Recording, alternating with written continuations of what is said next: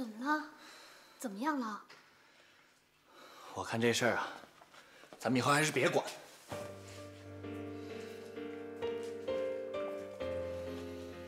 你是不是跟苏海峰起冲突了？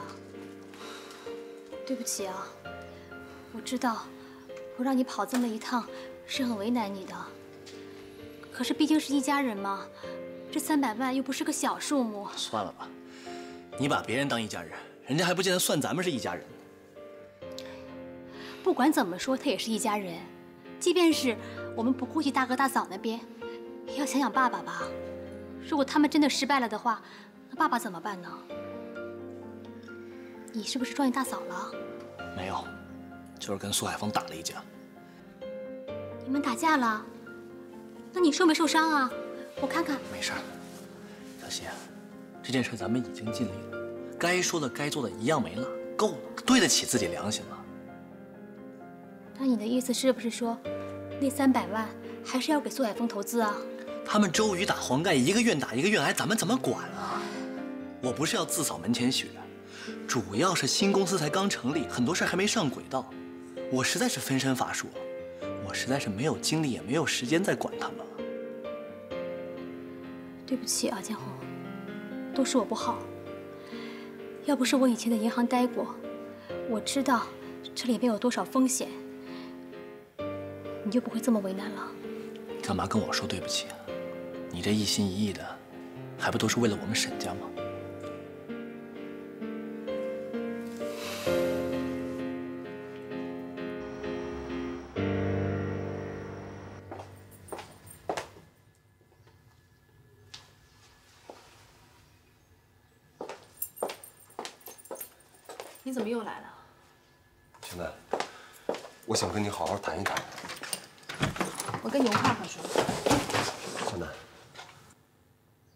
的希望咱们俩能心平气和的谈一谈。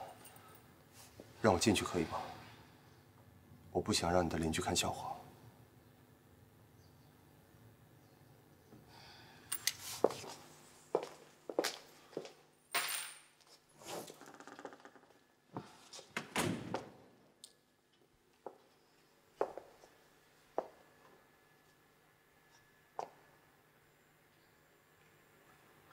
小南，孩子的事情，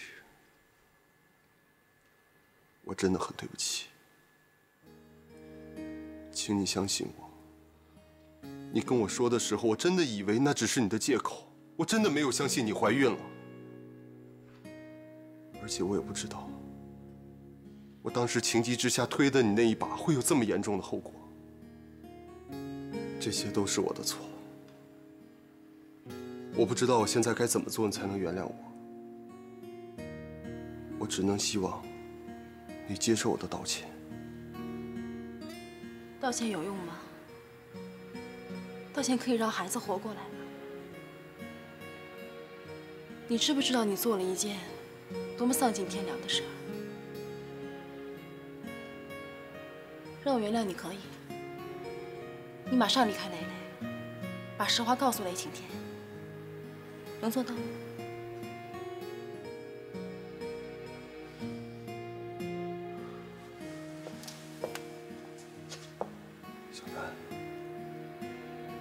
不知道你到底在坚持什么。你有必要委屈自己嫁给雷惊天吗？他比你大十几、二十几岁啊，没有激情，没有浪漫，更没有你向往的轰轰烈烈的爱情。就算是结婚，我也能预想到你们的婚姻就像一杯平淡无奇的白开水一样。没有必要为了报复我让自己傻到这种地步，好不好？想想你自己的未来，行吗，小南？你还真是幼稚的可笑。他温柔体贴，成熟稳重，不会让我收拾烂摊子，不会让我烦心，更不会让我去酒店替他买单，扛一个烂醉如泥的丈夫回家。我打着灯笼也找不到比这更好的男人了。你觉得你幸福吗？你懂得幸福吗？所以你很享受现在的生活状态了。没错，这一切都要感谢你。如果没有尝过烈酒，不知道酒后伤身的难受滋味又怎么可以对比出陈年甘醇、回味无穷的琼浆呢？说句实话，你就是那低质量的酒，而晴天就是陈年的甘醇，越陈越香。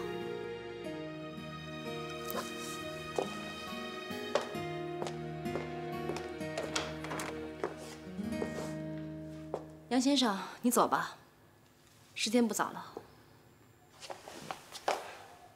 小南，你根本就不爱雷青天，你所做的一切只是为了报复。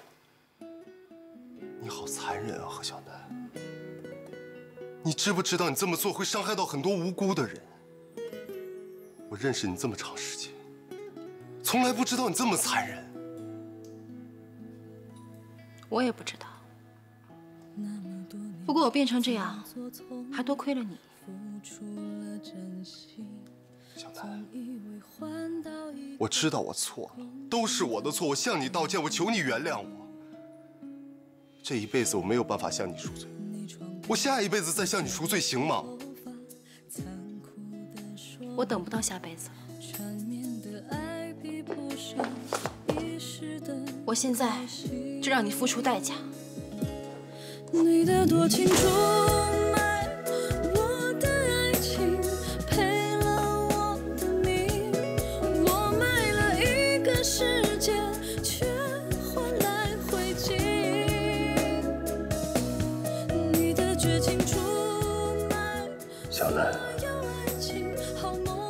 我也不知道咱俩为何会走到今天这个地步。我明白之前你对我的付出。但现在的我，有不得已的。如果时光能倒流，我宁愿回到最初，回到那个没有压力的最初。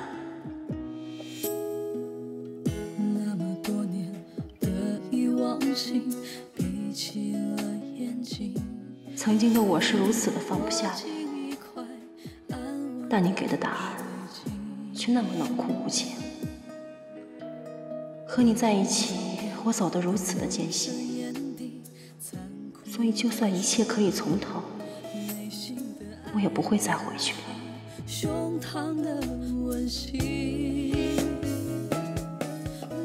怎么搞的？最近老搞失踪。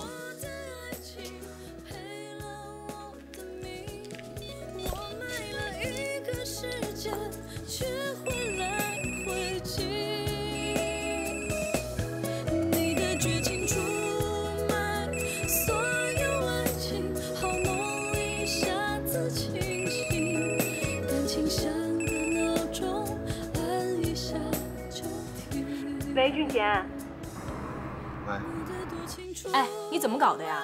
我今天都给你打了七八个电话了，你回我一个电话有那么难吗？对不起，我刚才下车办点事儿，手机搁车上了。你怎么啦？怎么声音听起来这么没精打采的？没什么。那你刚才到底干嘛去了？喂？你找我有事儿吗？哦，其实也没什么事儿，就是我想早点把我爸结婚场地给定下来。我也看了几家饭店了，所以明天想让你帮我去提提意见。要是觉得合适的话，咱们俩也可以参考参考啊。对不起，我明天公司有事儿，有一个重要的会议要开，没法陪你去。啊？那要不后天呢？我好累，先挂了，拜拜。哎，俊贤，俊，怎么回事？又这样？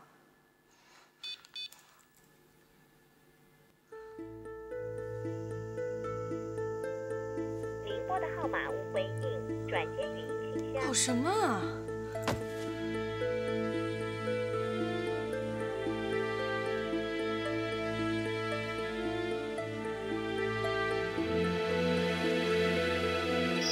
其实你还很年轻，没必要这么急着结婚的。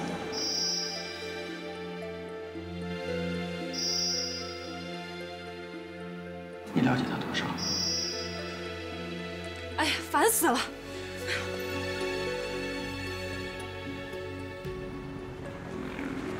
苏夫人、沈夫人，欢迎下次光临。不好意思啊，又让你破费了。哎呦，您太见外了！要不是您在苏董那儿替我美颜，我哪有机会跟着呀？哎，苏夫人，到时候赚了大钱，除了做 SPA，您看看您还想要点什么？再说吧。对了，这炒房和炒股不同，你可得有点耐心哦。有有有，我是很有耐心的。呃，不过还要等多长时间呀？呃，这投资的事情一直是海峰在处理，我真的不是很清楚。哦。哦，我就随便问问。这样，你要是还有顾虑的话，你可以再问问海峰。不不不不，跟着苏总投资，我哪还有什么顾虑啊？哎，呃，苏夫人，我替您打车。好。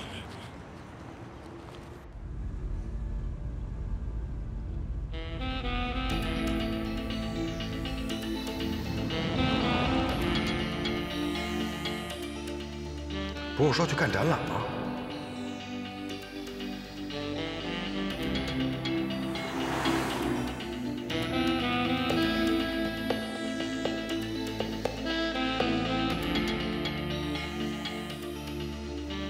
女人是谁呀？不知道哪儿认识的有钱人。哎，什么正网的事儿，至于把女孩扔着不管吗？还敢跟我撒谎？该不会为了投资吧？他还不死心？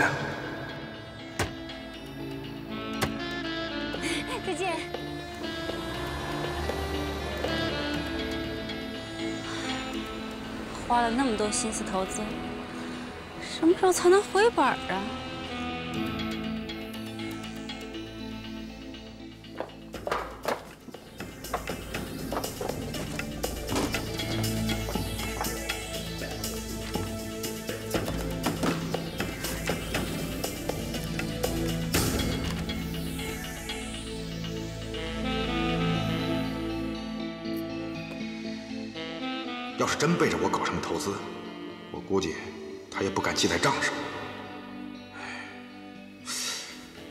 存折，才能看出个所以然来。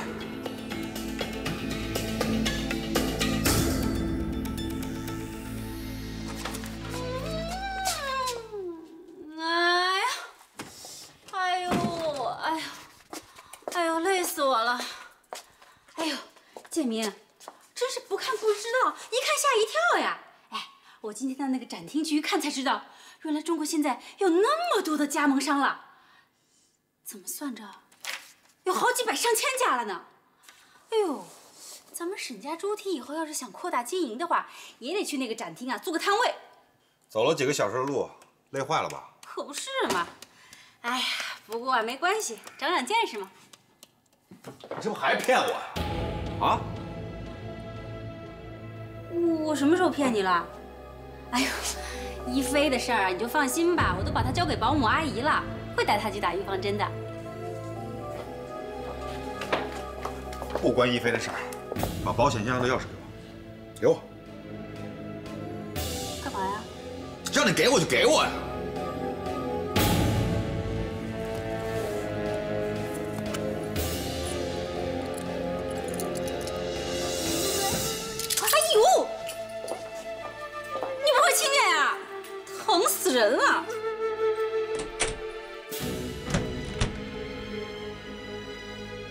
怎么突然想到查我账了？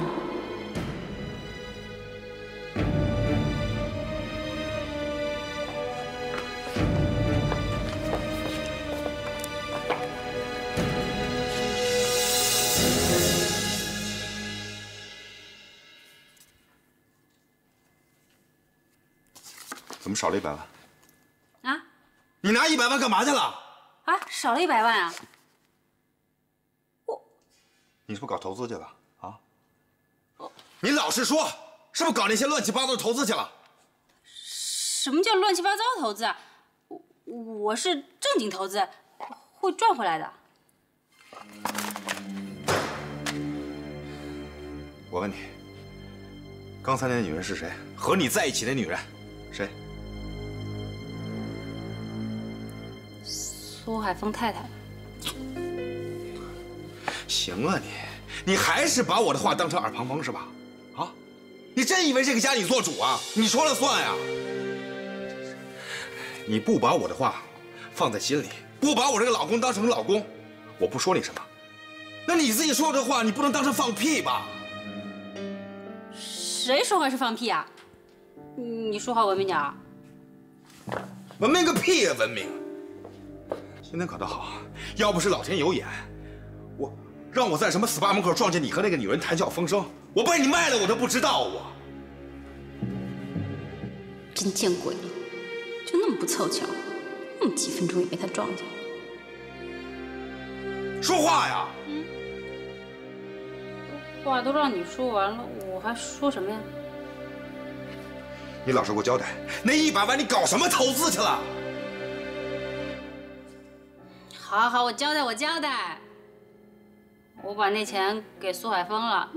你不是不让我炒股吗？那我就炒房地产呗。这你拿一百万给苏海峰炒房子？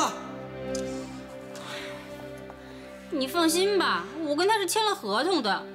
是你不让我炒股票的，那我只能炒房子了。那我说苏海峰这个人不靠谱，你怎么就不信呢？我赚钱，他人靠不靠谱关我什么事儿啊？哎，苏总跟我说了，那个房子旁边马上要建什么会展中心，还有超市、娱乐城。哎，行了行了行了行了，他盖飞机场都跟我没关系。我再说一遍，找苏海峰把一百万要回来。都已经投资了，怎么要得回来啊？你退股啊你！那钱扔到水里还能捞起来呢？哦，投资了钱就不能拿回来了？要去你去，我才不吃饱撑着呢。你再给我说一遍，你再说一遍你！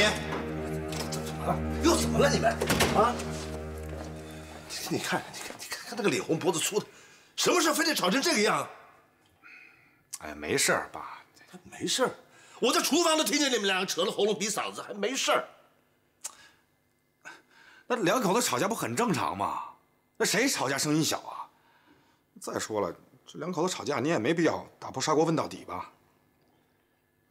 哎不是我爱说你们啊，你们夫妻俩要沟通要吵架，回家里去解决嘛。店里要做生意啊，那个外头客人进进出出的，一进门就听你们俩大声嚷嚷，这像话吗？啊，今儿接了个电话，不知道你家加盟店的猪蹄不够卖了，你赶快看看，赶紧给人家送去吧。啊，啊，行了，我知道了。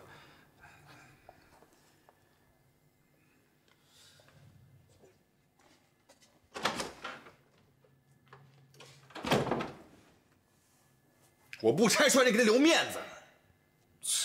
我那一百万又不是爸的，你告诉他呀，也不关他的事儿。那不是爸的，是我的呀。行了行了，我不跟你啰嗦了。我再说最后一遍，找苏海峰把钱给我要回来。你自己去要呀。你再说一遍，你再给我说一遍。你自己去要呀。你动我包干嘛？打电话，打电话给苏海峰，把他约出来，我自己谈。你打呀。我让你打呀。快点。凶干嘛？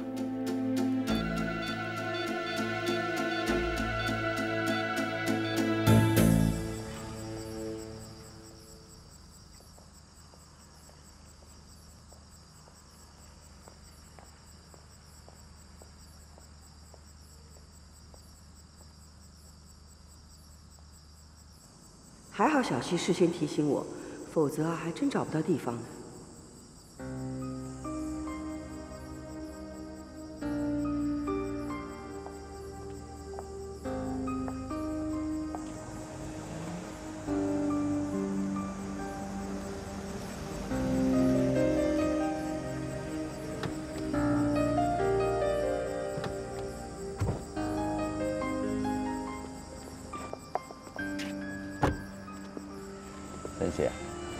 要拍照啊，早点睡吧，睡饱了照起来有精神，也比较漂亮啊。呃，就我们两个人照吗？蕾蕾一块来吧，她说要给咱们家留下一张最美好的纪念。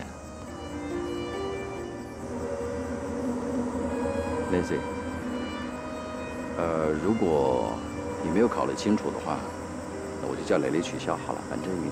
啊，不用考虑我，没事的，早晚都得照。我只是觉得太过劳师动众了。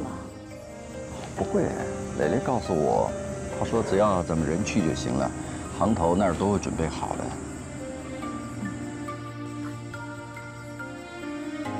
嗯，那您早点回去休息吧，晚上别喝太多水，拍照怕水肿。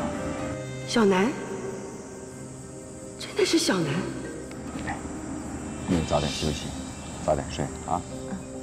他就是雷青天，小南跟雷青天。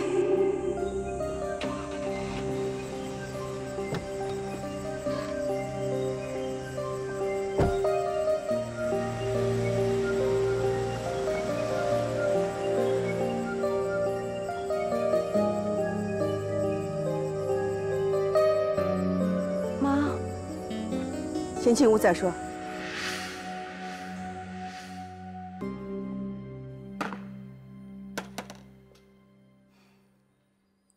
看来我是白操心了。我心想你一个人在外头没人照应，又那么久没回家，就大老远的拎了锅鸡汤来给你补一补。你需要我替你补吗？我看你在外头给人照顾的挺不错的。我跟你爸这么信任你，你怎么能这么做啊，小南？妈，对不起。事情的发展远远超出了我的想象，所以俊贤一点都没诬赖你。你是为了报复才去雷氏打工，为了报复接近雷家妇女，为了报复让雷晴天不知不觉的对你动了真情。是，我承认，去他公司，我是为了气杨俊贤。可是我没有想到，雷晴天居然会喜欢上我。我跟你爸当初苦口婆心，劝你早点离开那个是非之地，就是为了防范于未然。担心你见了俊贤会方寸大乱，为了报复一时冲动就走岔了路。是你信誓旦旦保证不让我们担心的，难道现在两手一摊装不知道，就是你回报父母信任你的方式吗？然后呢？唉。让我跟你爸一边悔不当初，一边替你收拾残局。我是想过要回头，话都已经到嘴边了，可是怎么也鼓不起勇气跟他坦白啊！你要是真有心，就不会让事情发展到现在这个地步了。不行，你明天就去给我向雷青天辞职，给我搬回家。去拿张白纸来，你现在就给我写辞职信。妈，你快呀！你还愣在那儿干嘛？我不能写。你到现在还执迷不悟啊？你是怎么了，小南？你得趁还没有铸下大错之前赶紧收手啊！我不管你有任何理由，这工作你明天非辞不可。要是你开不了口，我去。非得让你离开雷晴天，断绝跟杨家一切的关系，这样你的生活才能恢复正常啊！妈，来不及了。什么来不及啊？怎么会来不及？你怎么就这么舍不得啊？你是舍不得山珍海味、豪宅名车，还是舍不得身价百亿的富豪对你柔情似水？你现在就给我写，明天就去辞职。雷晴天向我求婚，我答应了。什么？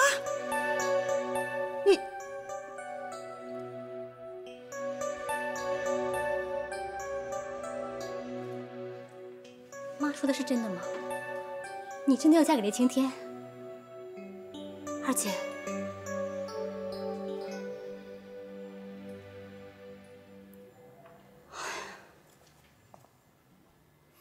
二姐，冤有头债有主，你要想报复也得找对人啊！你干嘛把不相干的人也牵扯进来？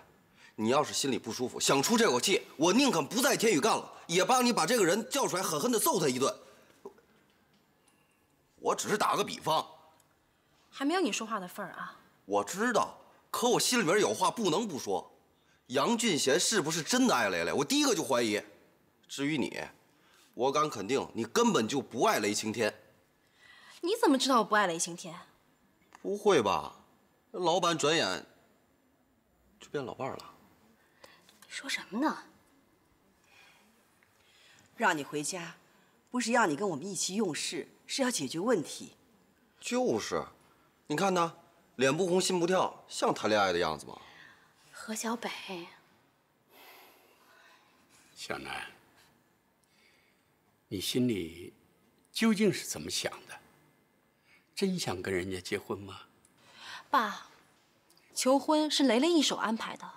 不只是我，连董事长也被蒙在鼓里。不管是谁开的口，你都应该清清楚楚让人家知道你的心意，而不能模棱两可，让人家误会呀。可我现在已经当着杨俊贤的面答应雷雷了，父女俩正高高兴兴的筹备婚礼，现在是箭在弦上，不得不发呀。我不是没有懊悔过，可我担心真的说出真相来，对他们父女俩伤害会更大。他们雷家对我有情有义，我不能这么残忍，我得替他们设想。雷晴天的颜面，雷雷的憧憬，还有他们对未来的期望，我不可能不为他们考虑周全呢。你搬出这套说辞，能减轻你的负罪感，减少你的良心不安吗？二姐，爸爸说的没有错，婚姻是要建立在男女。互信和互爱的基础之上的。现在你和雷晴天根本就不诚实，你觉着你们的婚姻会幸福吗？还有，我们都知道，你跟他结合是为了报复杨俊贤，为了杨俊贤这么一个人，搭上你一辈子的幸福，值得吗？不管值不值得，都已成为定局。即使是一条不归路，我也没有办法回头，一切都不可能再改变了。什么不可能改变呢？你根本是被报复这事冲昏了头，不想改变。你把婚姻当儿戏是你的事，你口口声声说替雷家妇女着想，可在我眼里，你根本是拖着两人陪你淌这趟浑水。当初啊，真不该答应你一个人住在外头。是，是不该呀。不该让遍体鳞伤的你独居在外，不该让你一个人独自承受痛苦，不该不闻不问，让你心里头只想着报复，更不该让你在不知不觉当中变得连自己都不认识自己呀！我应该坚持让你回来，是我跟你妈妈没照顾好你，是我的错，都是我的错呀。爸，你别这样。我也没有想到事情会到这个地步，我会承担一切的。小南，悔婚吧，告诉黎青天，你是一时冲动，然后找个理由离开雷氏，实在不行把责任往我身上推，就是我不同意这个婚姻，然后你辞职，在真相大白之前转身走人。就算一辈子婚姻不幸福，你还有家，有你妈妈跟我照顾你。要是你一错再错，伤了人家，你让我们拿什么去还人家呀？听爸爸一句劝吧，好不好，二姐？这话说的一点都没有错。现在只有离开，才能把伤害减到最低呀。可现在刹车还来得及吗？我承认，我答应求婚，一半是为了报复，可另一半。我是真的想阻止雷雷嫁给杨俊贤。我是为了雷雷好，我不是为了我自己。他太天真了。杨俊贤处心积虑想利用雷雷稳住天下的财产，稳住杨家的基业，可他浑然不觉。我必须赶在他前头，成为雷家的人，这样才有可能让他知难而退。雷青天疼女儿。疼到了心坎里。如果他知道我是为了雷雷的幸福，或许他能够谅解我。可是二姐，如果万一，是说万一啊，万一杨俊贤真的可以把雷雷捧在手掌心里面，可以一辈子去爱她的话，你怎么能肯定他就不会幸福呢？就算，就算你可以把雷雷给拯救了，他爸爸呢？雷青天怎么办？他的幸福从何而来啊？我会用我一辈子的时间去弥补雷青天的。适可而止吧，小南。你以为你能瞒多久啊？你非嫁不可，俊贤又非娶不行，早晚得碰到一块儿，甚至会同住在一个屋檐下。要是一不小心把事情揭穿了，到时候对你们四个人都是伤害。所以我要尽我一切的努力，让杨俊贤退出这场战争，退出雷雷的生活，还他们父女俩原本平静的生活。二姐，你真的疯了。只有这样，才能够保护无辜的蕾蕾。至于林青天，我说了，我会用我的一生尽心尽力的去照顾他，他不会有事的。何小楠，我跟你爸辛辛苦苦把你抚养长大，不是让你去报复人呐。我们是要你有自己的人生，一个能让你抬头挺胸、昂首阔步、健健康康、快快乐乐的人生。二姐，你是被洗脑了还是怎么着啊？爸妈跟你说了那么多，你怎么就听不进去啊？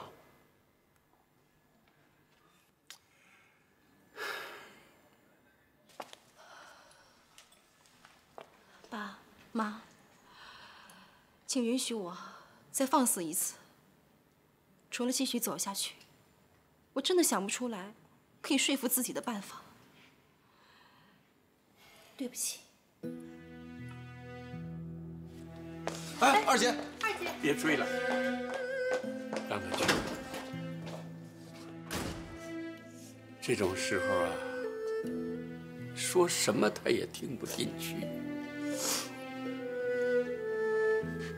李叔，别难受了。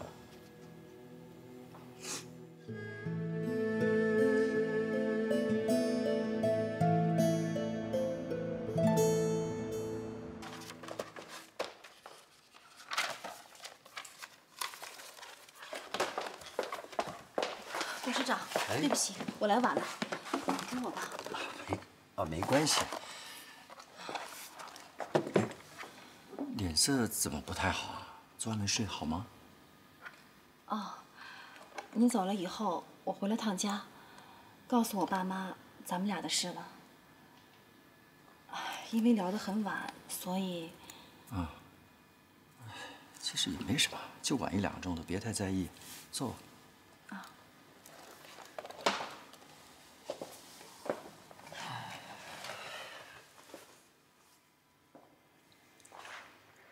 南希，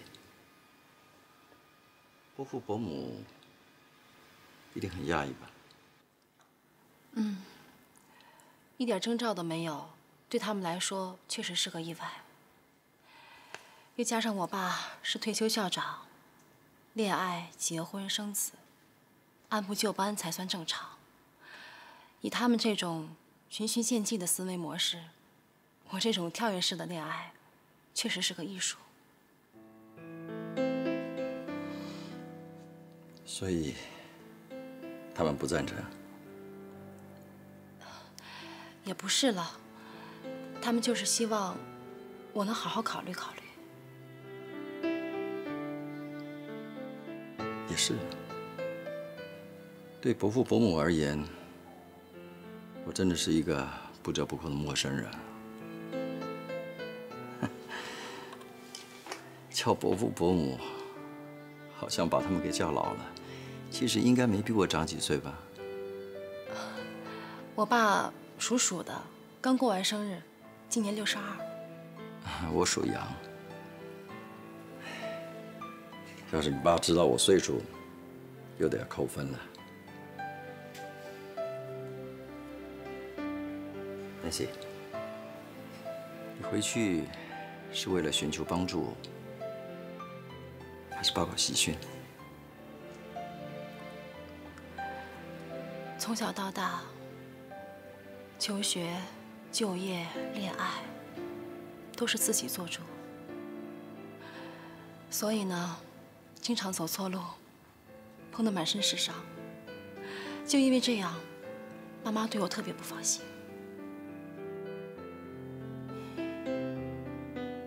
莲希，要不我亲自登门拜访，跟他们聊聊？按理，我也应该给他们考核考核我的人品，我的性格。不用的，董事长。确定吗？嗯真的不用。好吧，那你去忙吧。你杯子水空了，要喝点什么吗？啊，没关系，我自个儿来。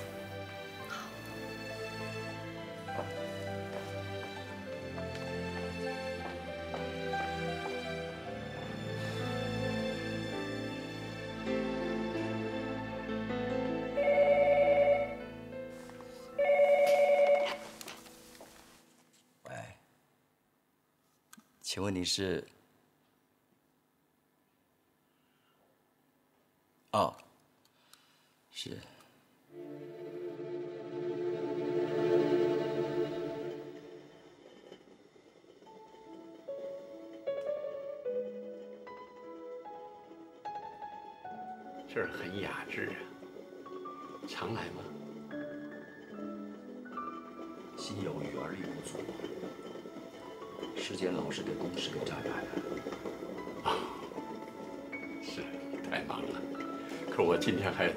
时间，真是不好意思啊。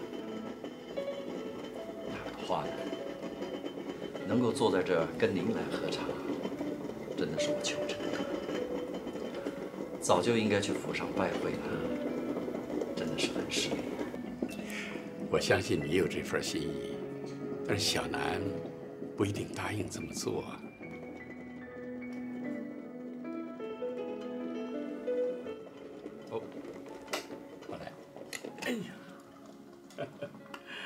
中国人喝茶呀，泡起茶来都有很多讲究。这刚开的水啊，泡这个细致的茶，那就太强烈、太大了。所以呢，要放一放，让它温度降一降。哎，降下来之后，再泡出来的茶就温润好喝了。哎，现在差不多了。这个就是孔夫子说的“中庸之道”啊。这年纪一大呀，越觉得咱们中国的学问真是博大精深。简简单单的“中庸”两个字，就能够贯穿到生活的各个方面。几千年呐，它仍然是真理，真是让人不得不佩服啊！喝喝看，谢谢。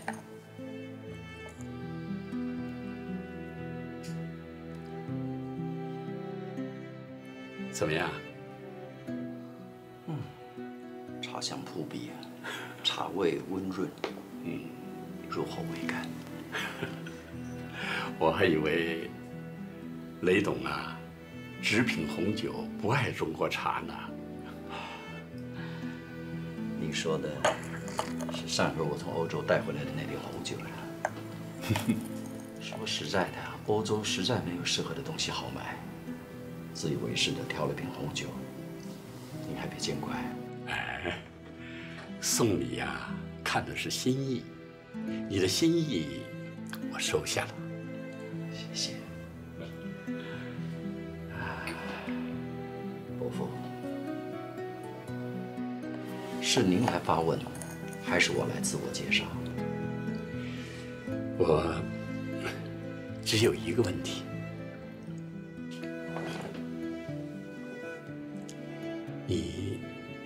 为什么要娶小南呢？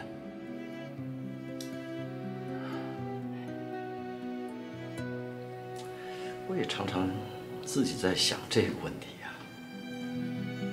你也知道，我有一个女儿啊，今年二十五了。言归正传，不瞒你说。我从来没有再婚的念头。即使遇见了小兰之后，顶多把她当做是一个难能可贵的助手。所谓的情感，大概就是在这日积月累中慢慢的形成吧。可是，你们认识刚刚三个多月呀？哎，这问题我也感觉到很诧异。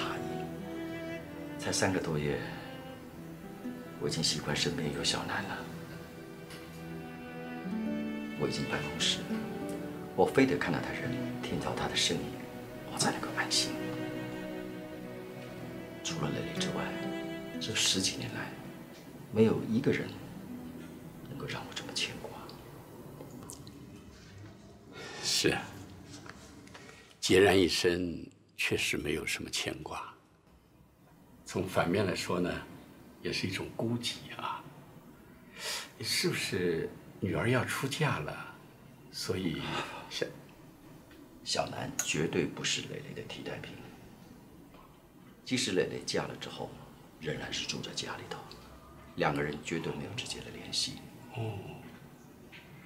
不过说的也奇怪啊，两个人的交情特别好，无话不谈，就像姐妹淘一样。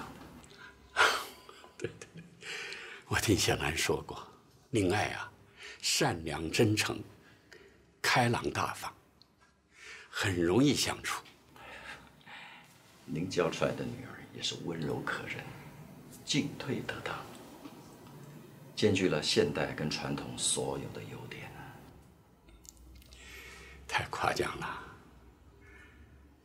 小南呢，在老板面前，可能。把自己一些缺点隐藏住了。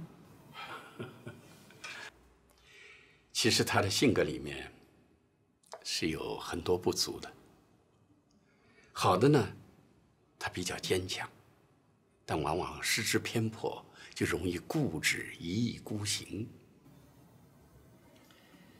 伯父，坦白的说，我自己也不是个完美的人，我也不会去要求那些。要求小南是一个完人。如果他曾经有过一段不愉快的婚姻，你也不在乎吗？